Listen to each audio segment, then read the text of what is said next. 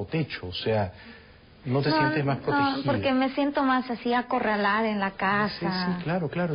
Es, y en el campo te sientes más libre. En libertad. Y fortaleces tu cuerpo, purificas tu, tu, tus pulmones. A mí que me gusta cantar, me gusta tenerlos sanos. Respirar el aire libre y tal. ¿Nunca has fumado? No, nunca. ¿No has intoxicado o envenenado tus pulmones? No. ¿De ninguna manera? No, lo juro por mi madre, no, nunca. Yo, yo lo iba a jurar por mi madre, pero tengo un poco más de respeto por ella. No, yo la, yo la quiero muchísimo a mi madre, sí. Y yo sin conocerla la quiero mucho también a tu madre, porque, porque tiene que ser una madre muy especial para que haya salido una hija tan, tan extrañamente talentosa como tú. ¿Cómo se llama tu mamá? Gregoria, y mi papá se llama Gregorio.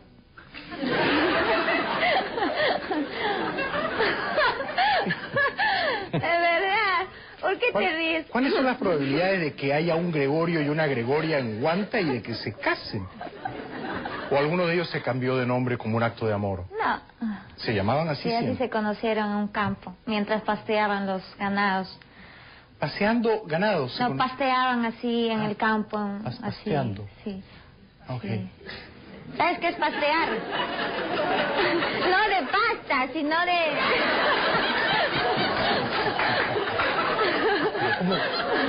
Mi ganado estaba pasteando, estaba comiendo No, lo que pasa es que cada uno tenía sus ganados, iban a, a seguían sus animales al campo, Pero, naturalmente eso es lo que imaginé. ¿Cómo, cómo Ah, puedes tú pensar que yo estaba... Lo que pasa es que acá cuando uno dice pasteando de pasta, se refieren a la de- pasta, sí. Es. el- no, pues yo no voy a ser tan mal pensado. ¿no? Ah, ya, Que estaban tus padres haciendo un pase de pasta básica ahí en Guanta, ¿no? No. Parapetados atrás del ganado, ahí, no.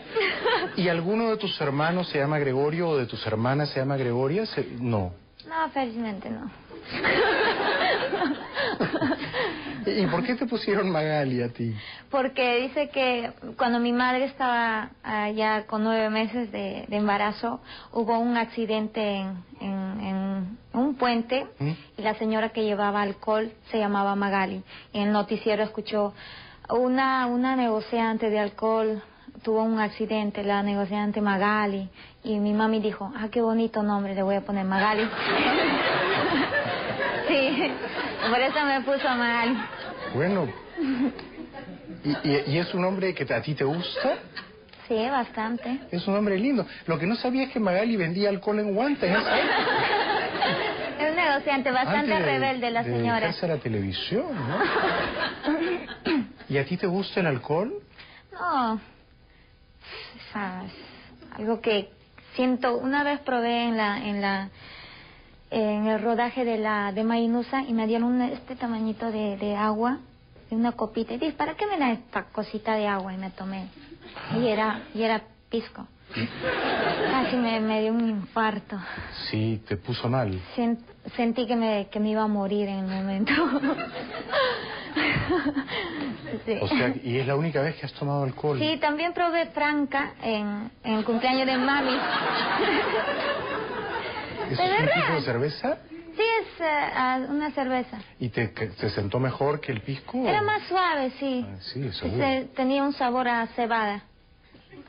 También probé en Alemania este tipos de, de cerveza. Ah, o sea que te ha gustado. No, me gusta, me gusta sentir el sabor. Comparar, comparar. Tú Comparar. tomas cerveza para ¿Quién es comparar. ¿Cuál es mejor? ¿Cuál es mejor? Cuando tú eras una niña, ¿tus papás te hablaban en quechua o en castellano? Eh, No, yo aprendí quechua con mi abuelita. Yo me escapaba de casa. ¿Tu abuelita la que murió? No, todavía sigue viva. Ah. Murió tres veces y revivió. ¿En serio? Sí, de Dile verdad. a Claudia que haga una película sobre ella. no, yo, yo lo voy a hacer. Claro. Y, y- a ver, vamos por partes. Eh, ¿Cómo es que murió tres veces? Lo que pasa es que ella tuvo una pulmonía y le llevaron al hospital y dijeron que, que tenía cáncer al estómago y no era cierto. Le, le pusieron tubos, todo oxígeno, estuvo una semana. Luego le desahuciaron y murió en casa. Después una vecina fue y le dijo, pero ¿cómo lo tienen encima de la cama? Ponen- pon- tienen que ponerle al cajón, pongan su hábito. Y mi prima le dice, pero está viva todavía. Ay, señor, todavía tiene la cara de estar viva y se fue a avergonzar a la señora. O sea que los gritos de la vecina la revivieron de alguna No manera. sé, pero seguía viva mi abuela. Esto es lo Ya me habían dado los...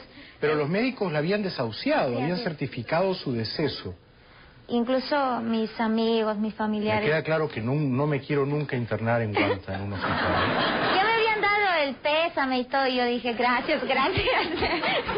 Te habían dado el pésame. Sí, todos. Y después llego a Guante y me di, ¿y cómo está mi abuelita? ¿Dónde se enterró? No, está viva. Está trabajando con pico, me dijeron. Está trabajando con pico. Sí, tiene casi 90 años, sí. ¿Y, y aún ahora trabaja? Sí, trabaja todo el día.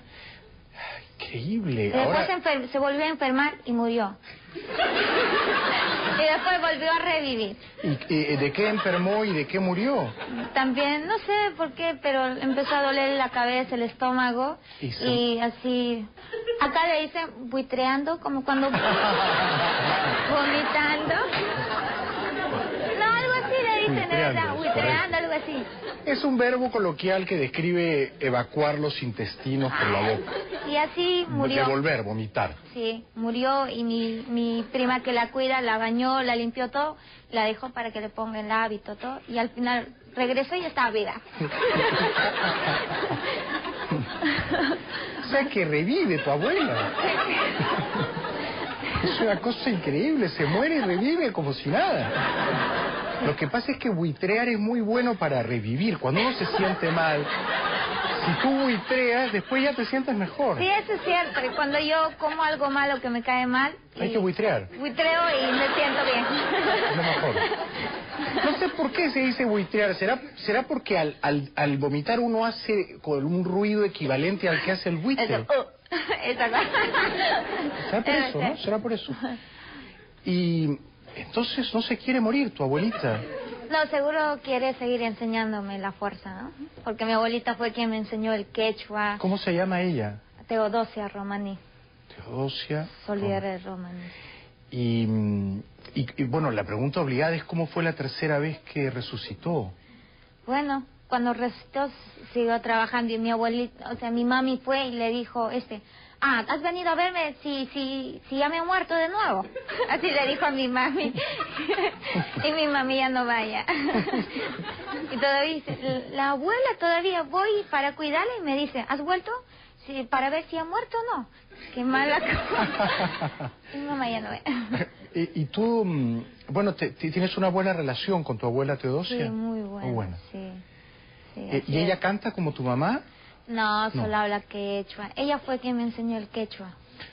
Eh, eh, ¿Eso quiere decir que tu mamá y tu papá no hablan quechua? No, sí habla. Lo hablan, pero no te lo enseñaron. No, en casa, como ellos paraban trabajando, yo me quedaba en casa casi todo el día con mis hermanos o iba a la escuela. No había mucha comunicación en casa para hablar, solo en las mañanas y en las noches. Sí. Y cu- cu- cuéntame dos o tres palabras en quechua que te encantan. Olpa manjaraicamuy, ¿Qué significa eso? dale a las gallinas. Y manañacho entendinque, ¿acaso ya no entiendes? ¿Cómo, es- cómo es eso? Manana- Manañacho entendinque, ¿acaso ya no entiendes? Son esas Mananacho palabras. Porque siempre mi abuelita me decía, Huelpa manjaraikami, manañacho entendinque, o sea, ma, mierda, manañacho entendinque, me decía. Es que yo cuando le decía, abuelita, ¿qué me has dicho, abuelita? ¿Qué cosa, abuelita? ¿Qué cosa, qué cosa? Mierda, manañacho entendinque. ¿Y cuando te decía así, estaba muerta o estaba viva? Estaba viva, súper viva, sí. Con razón se, se ha muerto tantas veces. Que no se sulfure así. No, y, y eh. cuando uno dice, digamos, mierda no tiene traducción en quechua. No, es como una cosa de fuerza en la sierra. Ya, ya, es una cosa universal. Sí, sí. Es como el esperanto, es un dialecto universal. no lo sé, pero mi abuelita lo decía. Claro. Y dale a las gallinas, ¿qué, qué cosa tenías que darle a las gallinas? Maíz. Ah. Porque yo me escapaba para aprender quechua por un huequito así de la pared. Sí. Y llegaba abuelita, o sea, le saludaba. Y decía, dale a las gallinas. De frente me decía, dale a las Pero gallinas. sin decirte hola, Magali, ¿cómo estás? no, allá no hay costumbre. Te ¿No? saluda. Y mañana un cachcanqui, ¿cómo estás? Y hasta, dale a las gallinas. Sí, en Y a darle al Yo no entendía porque yo primero aprendí el español, luego recién el quechua. Claro. Entonces te costaba trabajo entender. Sí, es que era muy niña. Regresaba llorando a casa y mi mamá se molestaba. Ya te he dicho que no vayas, ya no vas a ir. Pero igual yo me escapaba. ¿Y eh, ¿qué, qué otras cosas en quechua te decía? Cuéntame otros otras frases en Ahora quechua. última, esta hora última me dice, ah, Magali, ¿me lo puedes coger eh, para acá? Y me dice, y cuando le digo no, porque El pacay, el pacay. Pacay. ¿Conoces Pacay? Creo que sí, es una fruta. ¿Cómo es su, cómo es su- la forma? Sí, es, va. Es así larguito. Sí, sí. Y, y se abre y tiene como unas pepas. Pepita, sí, Y una textura blanca. así es. Y me dice, coge chirimoya, me dice así. Y yo, no, abuelita, le digo, tengo que ir a, a dar entrevista, le dije. Entrevista. Y matachay, me dice, ¿qué es eso? Y ella solita, ah, bueno, me dice, lárgate pues, pero en quechua, pasa guayá, me dice así. Y, y cuando yo regresé Es- de la es un poco ¿no? Sí, bastante, bastante mal